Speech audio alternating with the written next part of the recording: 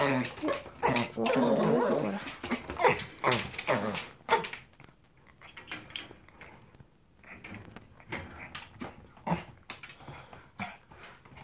座れ。よし。待って。ごめん。待って。よし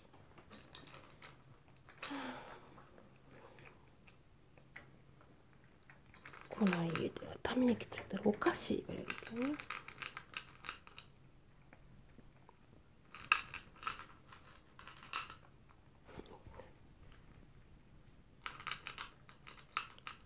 仕事しとったら人を切り飛ばしてええしな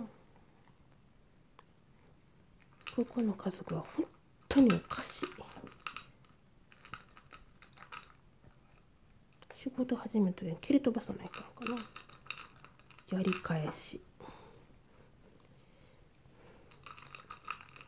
仕事しとったら切り飛ばしてんやったらこっちも切り飛ばしてええだろうから。やり返さないかん。野蛮人やと思うけどそれが正常らしいですよ。完食はりかさん。んお水飲みな。よしよし。